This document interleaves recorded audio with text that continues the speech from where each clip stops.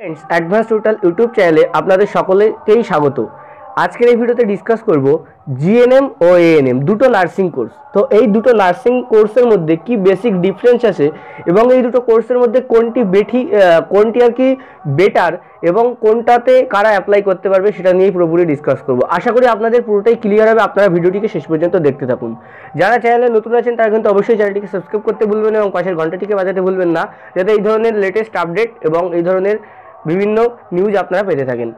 তো চলুন জিএনএম তো জিএনএম কথাটার পুরো নাম হচ্ছে জেনারেল অ্যান্ড নার্সিং মিডওয়াইফারি আর এএনএম কথাটার পুরো নাম হচ্ছে অক্সিলিয়ারি নার্সিং অ্যান্ড মিডওয়াইফারি এই দুটো কোর্সের মধ্যে জিএনএম কোর্সে ছেলে ও মেয়ে উভয়েই আবেদন করতে পারবে।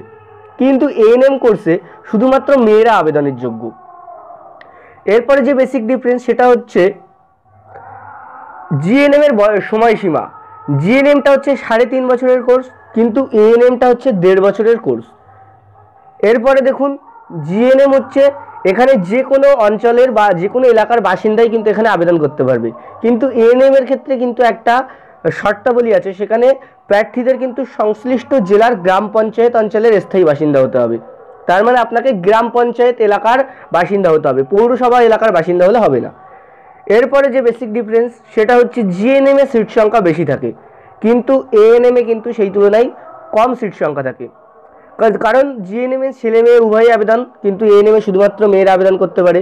জিএনএম এ যেমন এবারে সিট সংখ্যা আছে দু হাজার চারশো পাঁচটা, কিন্তু এএনএম এ সেই তুলনায় এখানে সিট সংখ্যা এবার রেখেছে পাঁচশোটা। এরপরে যে বেসিক ডিফারেন্সটা আছে, এই জিএনএম পদে ট্রেন্ডিংয়ে আপনি সফল হলে স্টাফ নার্স পদে চাকরি পেতে পারেন। কিন্তু এএনএম এর ক্ষেত্রে আপনি স্বাস্থ্য সহায়িকা পদে চাকরি পাবেন। তো একটা বুঝতে পারছেন, একটা হচ্ছে আপনার স্টাফ নার্স জিএনএম যেটা সাড়ে তিন বছরের কোর্স ওটা করলে আপনি স্টাফ নার্স হতে পারবেন, কিন্তু এখানে আপনাকে স্বাস্থ্য সহায়িকা পদে কাজ করতে হবে। তো এটা হচ্ছে বেসিক ডিফারেন্স এবার যদি বলেন কোনটা বেটার তো অবশ্যই আপনারা বুঝতেই পারছেন যে জিএনএমটাই বেটার কারণ ওটা হচ্ছে নার্স পদে চাকরি পাবেন আপনার এখানে স্বাস্থ্য সহায়িকা পদে। ওখানে আপনার স্যালারিটা বেশি থাকবে তো এইগুলো হচ্ছে বেসিক ডিফারেন্স জিএনএম ও এনএম এর মধ্যে। আশা করি আপনাদের পুরোটাই এবার ক্লিয়ার হয়েছে এবং যদি ভিডিওটি ভালো লেগে থাকে, অবশ্যই লাইক করে বন্ধুদের সাথে শেয়ার করতে ভুলবেন না। Thank you